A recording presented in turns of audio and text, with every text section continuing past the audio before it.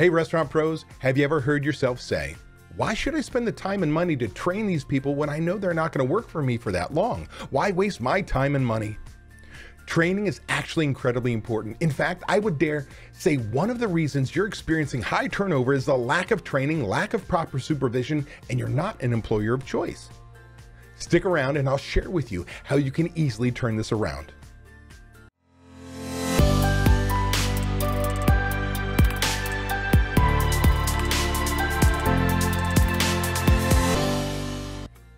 I'm David Scott Peters, restaurant expert, coach, and the creator of the Restaurant Prosperity Formula.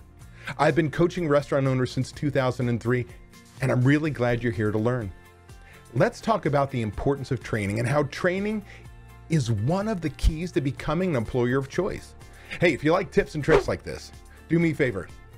Hit that like button, hit that subscribe button. Oh, yeah, hit that bell so you're notified when my next video tip comes out.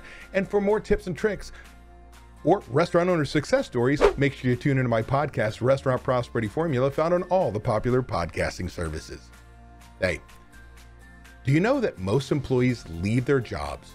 Leave their jobs in the first 90 days of employment because they don't know what their job is, how to do it, how well it should be done, or by when. Oh, and they probably have a manager above them that doesn't know either. So that manager, well, they have to make sure the new hire feels really small so as not to let their little secret out that they don't know what to do either. So, what do you do? You start with a job description. I know we're talking about training, but bear with me. The job description is the critical piece to a great training system. So, when you start on this job description, you really need to take the time to truly understand what the responsibilities of the position are and what qualifications a person needs for that position. Next, you're going to define the duties and responsibilities for the position. So, for instance, let's say we talk about, say, a server. The server is the job. Underneath that are a bunch of processes, such as taking an order, delivering an order, closing out a ticket. Well, the process might be take beverage and food orders accurately by listing and explaining the specials, suggesting items, and upselling when appropriate. Now, you'll have a whole list of those processes of what a server would do in a day to day process. Next, you're going to define the performance standards for each process. And this is incredibly important because the job performance standards are the core to your job description. This is the how well and by when portion of that job. Once you have a great job description, you'll now have the foundation of a great training program. Creating a great training program requires strong planning and organizational skills, which I know you have. You opened your restaurant. With each process, each of those process clearly defined, all you need to do is map out the new training program is list out all the steps for each one of those processes for each new hire and what they need to learn to do that job. For example, if we go back to the process that I gave you a moment ago, take beverage and food orders accurately by listing and explaining the specials, suggesting items, and upselling when appropriate. Here's what you might list out as your steps. Well, let's say there's four steps when taking the food and beverage order. The second step would be writing the order. The third step, or in this or process, I should say, is when inputting the order. And maybe the fourth step is the expo station. What happens there from marking tables and so on. So here's what the details of, say, performance standards might look like for each of those steps of taking that order. So let's say it's it's taking the order, that first piece, that first process. Ask if you're going to answer any questions the guests might have about the menu. By the way, never say, Are you ready to order? I hate walking vending machines. Start with the ladies and children. Do you know that you actually have to train people that you don't start with the person you see first, but we we are sh- still have chivalry, right? We start with ladies and children, then we go to the men. You have to train that process.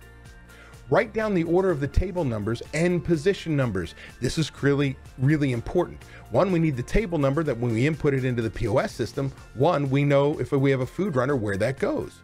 But we want position numbers too, so we know where that item goes, that we're not auctioning off an item when it comes to the table. You need to merchandise and suggest accompaniments and side orders so we can make a better experience. We have to train these things. Another step might be repeat the order back to the guest. Another step ask guests with children if they would like the kids' meal served first. Another step might be clarify the order in which the guests prefer the food to be served so that it's delivered in the proper order. For example, starters before entrees, salads after starters, etc. See, you never want to assume, right? And you have to train your people that these are the steps of each of those processes. Now, finally, you're going to break your processes into lessons. So now imagine each of these processes that the server has to do as a part of their job. There are all these steps that need to happen. Well, now we know what the job is, how to do it, how well it should be done, more importantly, by when we've mapped it completely out.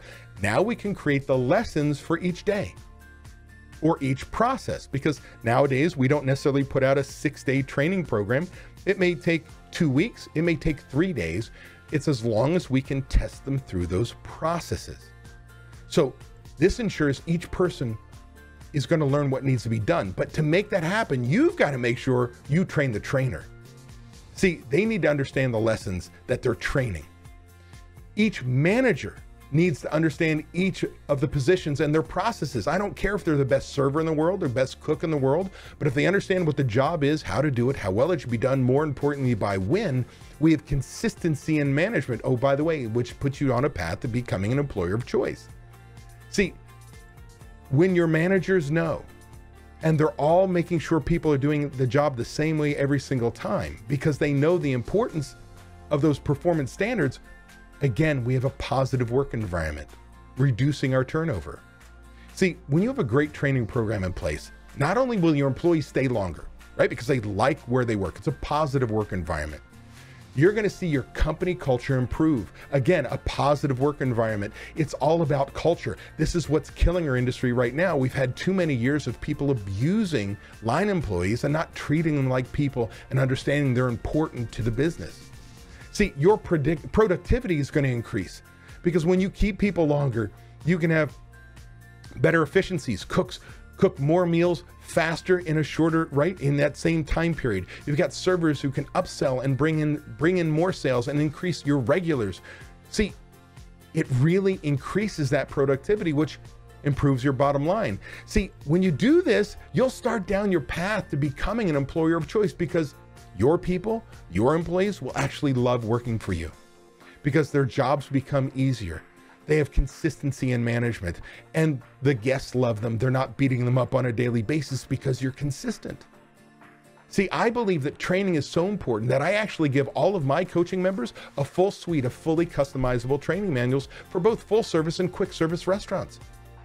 You need to make a great training program a priority in your restaurant.